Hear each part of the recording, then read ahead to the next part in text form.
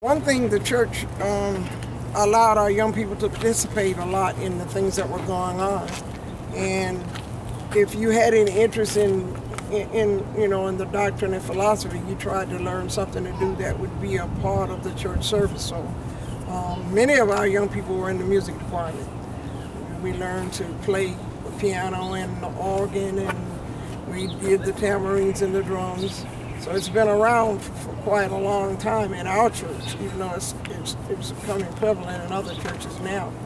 But uh, I learned to play the music when I was eight years old. So when I came to church, I knew at least how to play a little bit. And then I stuck with the people who could play very good and learned to play the piano and organ in the church. And I still do that till today.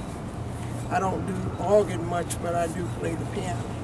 Oh, And uh, so young people get, our young people basically do the music in our church. how does it feel to play the piano? Like, How does it feel to play the piano?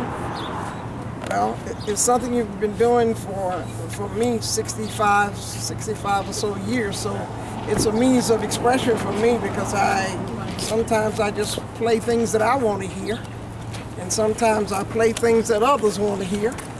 Some things I play things that, sometimes I play things I'm told to play. And um, it's music is a means of communicating, you know, feelings and times and situations through the music that we sing and, and listen to.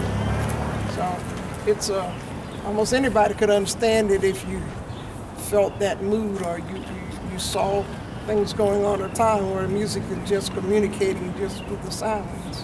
So I enjoy music, enjoy, enjoy playing. that's good.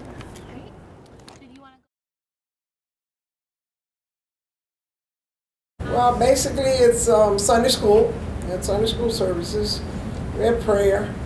That was designated time, an hour, maybe in the mornings and on Saturday afternoons. And then our regular Bible class. Young, matter, matter of fact, we had a young people's group, and or do still have the young people's group, just a regular missionary group, a brotherhood group, and several different musical groups that that uh, perform in our church. And uh, so basically, it was serving the community in every whatever way they wanted to come in and be a part of. I was built, finished, and dedicated in 1999. Um, at church, incidentally, good note to put down, was debt free when we went in. It had been bought and paid for in cash.